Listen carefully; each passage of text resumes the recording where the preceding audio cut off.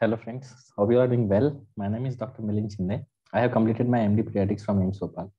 So through this video series, I'm helping uh, all the PG aspirants and I'm trying, I'm trying my uh, best to answer uh, their doubts so I can help uh, you all guys uh, during this uh, journey of PG entrance preparation. So I am posting a lot of videos because I'm getting a lot of comments and doubts in the question session, but I want to just appeal all the PG aspirants that uh, you should be very selective uh, watching these videos because I believe most of you are still in a planning session uh, that you are planning your studies and your initial uh, during your, uh, this is your initial time of preparation. But still don't waste too much time of uh, time on those videos. So lot of I mean a lot of mentors who post videos like I am posting. So we write in the description what this video is about. So just read it like briefly and if you feel that okay this video might help you or uh, इस video में जो दिया गया है if that is uh, the problem that you are uh, that is bothering you then only go through the video because this is the time you should be spending maximum time on reading and um, uh, I mean studying.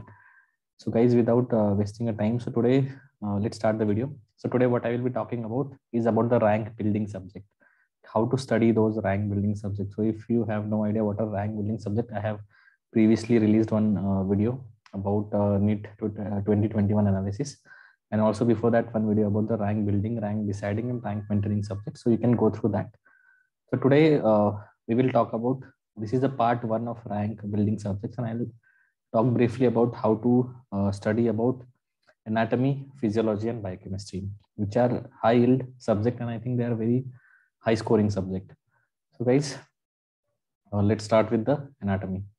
So whenever uh, you are studying the first uh, rank uh, building uh, subject, that is anatomy. So again, this is a very high scoring subject and anatomy is more of a fact based. What I mean by fact based and there is uh, most of data and it, it won't change with time. तो anatomy change नहीं होता जैसे बाकी subject time के साथ change हो जाते तो एनाटमी ऐसे चेंज नहीं होता so it's a fact based subject so that's why it becomes high yield if you read it well it can give you maximum output okay so study anatomy to study anatomy we should have basic two things one is your notes or review book इसमें से जो भी आप follow कर रहे हो इसमें से कोई एक ही चीज लेना दोनों मत लेना अगर you if you think your notes are good if you have followed class notes are enough if you don't have notes if you have not done any coaching then review book uh, can be fine i have shared one video about the review books also you can refer to that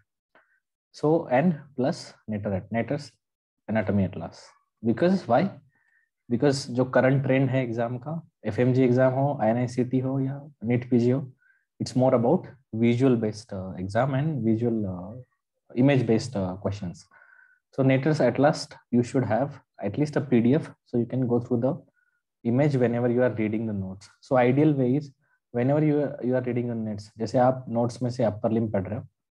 तो साथ में open your PDF of Netter's ठीक है? तो जो आपका Netter's है और उसमें से take screenshots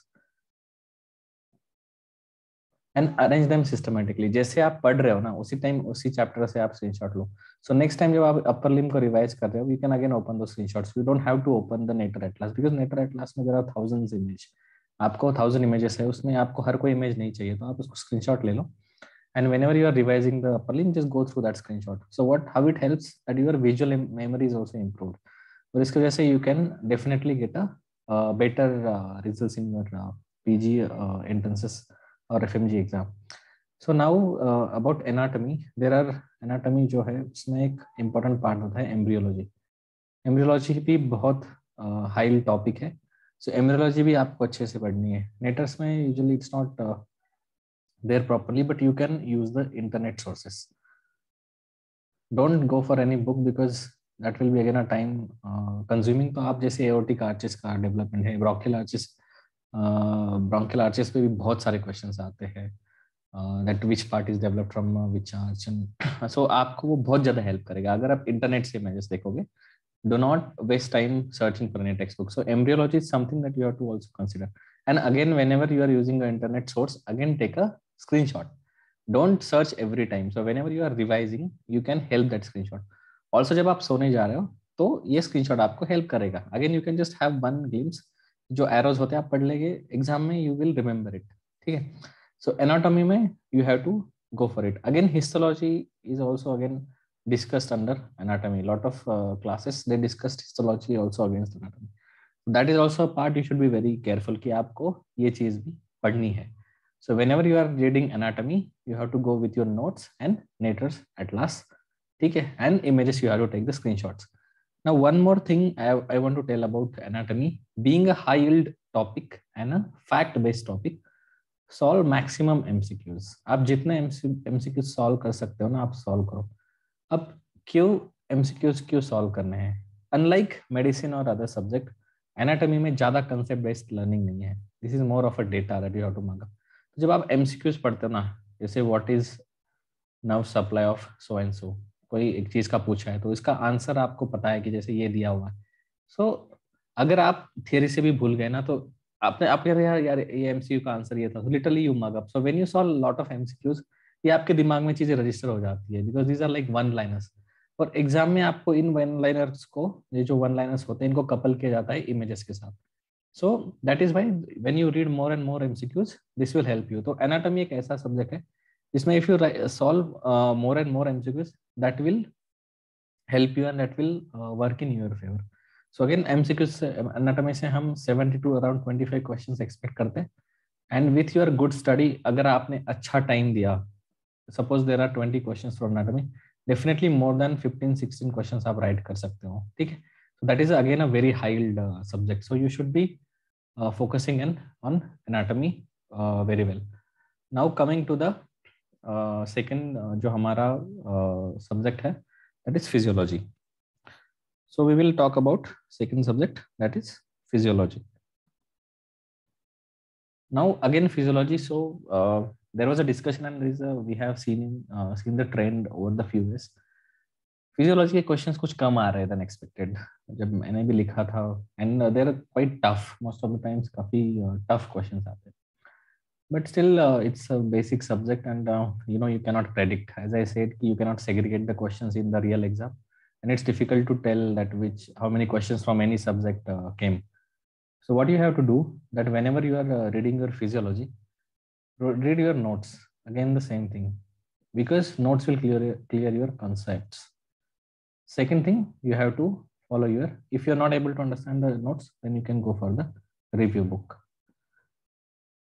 what additional you can do for the physiology talking about INICT अगर आप INICT के लिए prepare कर रहे हैं also for NEET page so there is a one very good book by Dr. Soman Manna. तो ये जो बुक है फिजियोलॉजी की it also shows you the lot of graphs क्योंकि ना ये फिजियोलॉजी में बहुत सारे ग्राफ्स पूछे जाते हैं so that can also uh, help you also solving mcqs again ये रैंक बिल्डिंग सब्जेक्ट होते हैं इसमें you have to spend more time on mcqs आज जब mcqs पे टाइम स्पेंड करते हो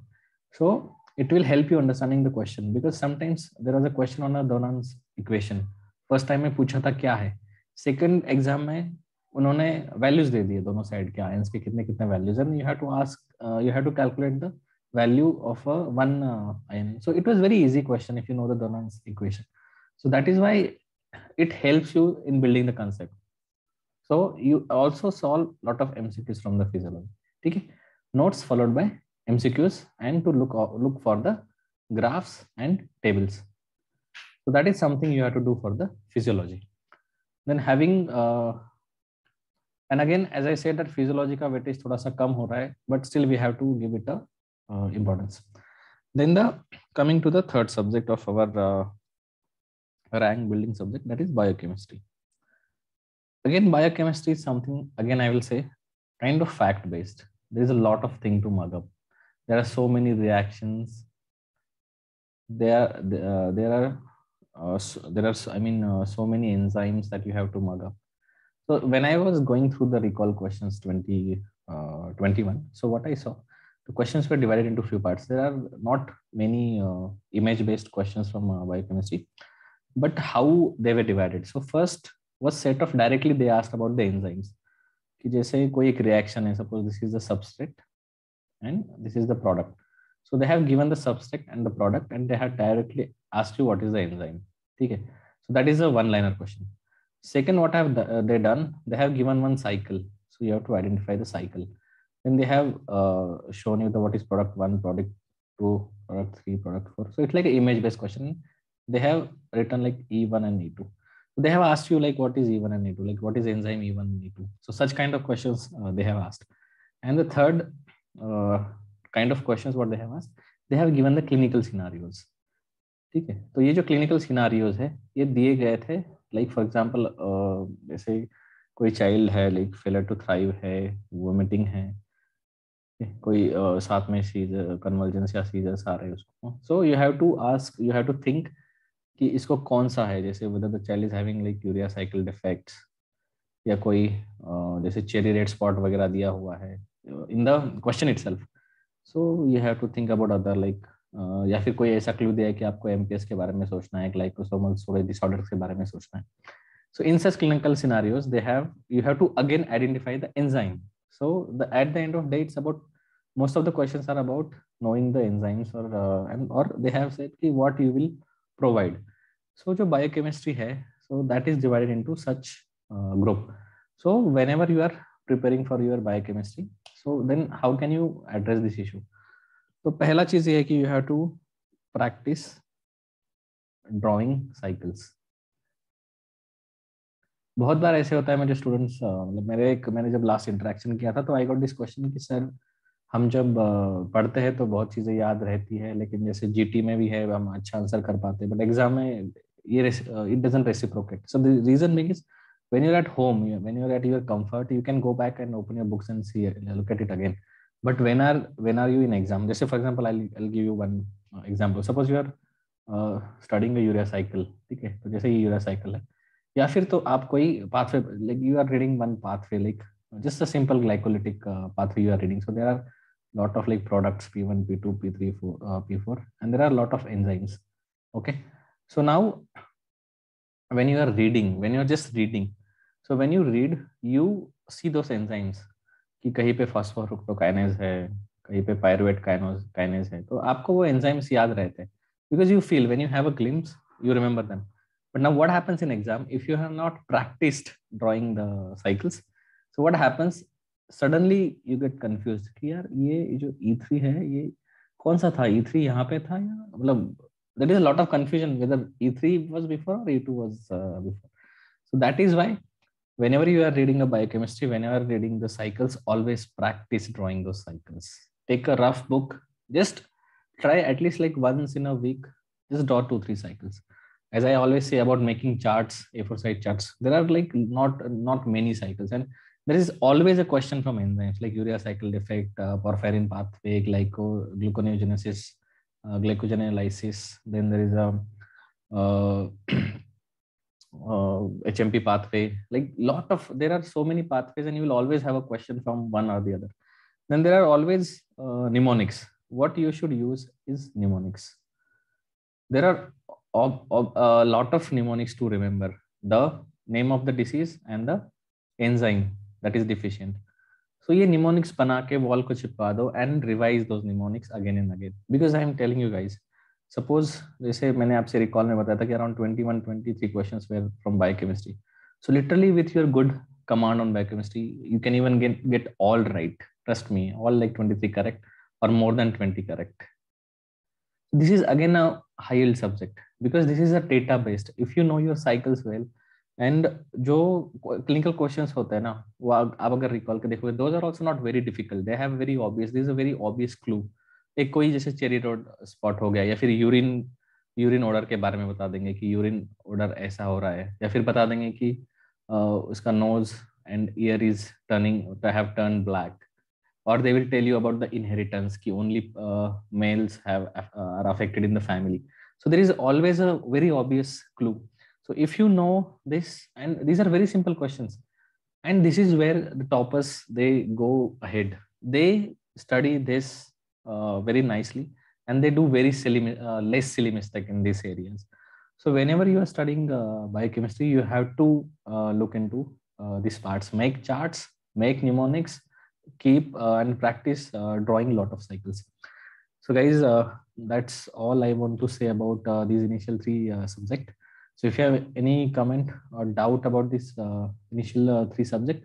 you can let me know in the comment uh, section. And I wish you all all the best and take care.